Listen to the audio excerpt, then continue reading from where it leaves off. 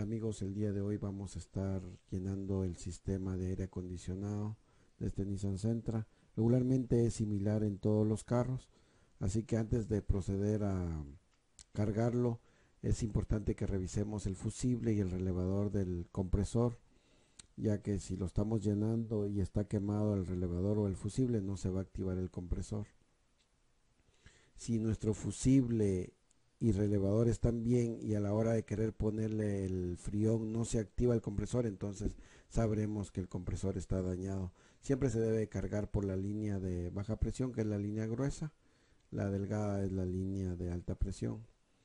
Eh, yo voy a usar este manómetro es de los más sencillos. Regularmente vienen hasta con los envases de frión son bien baratos pero son efectivos para poner el frión en el sistema o si lo prefieren pueden utilizar este otro tipo de manómetros.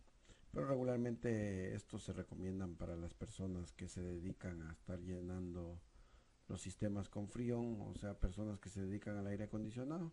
De lo contrario podemos usar el manómetro este que les estoy mostrando que les va a funcionar correctamente para llenar su sistema es importante que sepan las especificaciones del fabricante cuánto de frión lleva el carro ya que de esa manera el compresor va a estar trabajando correctamente. Si ponemos de más frión el compresor no va a trabajar correctamente y no va a enfriar porque el compresor se va a estar parando a cada ratos entonces es importante llenar con la medida correcta. De esa manera el carro va a funcionar correctamente. También debemos de tratar de no, no tratar sino también se recomienda que estos sistemas se les haga vacío antes de ponerle el frión para que así nos enfríe correctamente tanto en baja como en alta velocidad. Bueno vamos a comenzar la carga. Entonces antes de proceder a cargar el sistema debemos de encender nuestro carro y poner el aire acondicionado al máximo aquí yo les voy a mostrar que el compresor no está funcionando o sea está dando vuelta la polea pero el clutch no se engrana. Eso se debe a que no tiene frío en el sistema. Entonces aquí les puedo mostrar un poquito el compresor pero cuando esté cargando el sistema ya no lo voy a poder hacer porque tendré la cámara en la frente. Así que pero yo les voy a avisar si el compresor se activa o no se activa entonces vamos a proceder a cargar el sistema. Lo único que vamos a hacer es poner el manómetro en la línea de baja presión. Y luego vamos a abrir la válvula del manómetro para dejar circular ya el frío en el sistema de aire acondicionado. Automáticamente si el compresor está bien pues entonces se va a activar ya que el sensor activa el compresor automáticamente cuando siente el frío.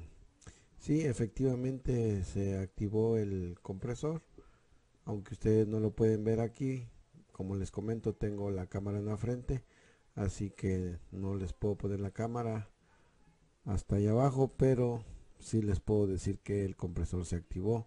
Entonces lo que queda es llenar con la cantidad correspondiente a lo que lleva este sistema de aire acondicionado y estaríamos terminando. Entonces aquí ya terminamos de poner el frío al sistema. Se utilizaron dos botecitos de 12 onzas. Siempre ustedes deben de referirse al manual del fabricante para ver cuánto es lo que necesita si en dado caso el sistema estuviera vacío. De lo contrario pues obviamente para eso tendrán su manómetro. Regularmente el manómetro que se compra en la tienda que viene con los botecitos le indica a uno dónde debe de estar el frío correctamente. Bueno entonces prácticamente aquí queda terminado ya el video de este Nissan. Solo faltaría mostrarles el video de cómo quedó ya limpio y todo. Y estaríamos tratando de correr el carro un buen rato para que ustedes vean el funcionamiento y eso sería todo. Y esperamos que les sirva los videos que hicimos sobre este carro. Como siempre les invitamos a que se suscriban, a que comenten y nos vemos hasta la próxima.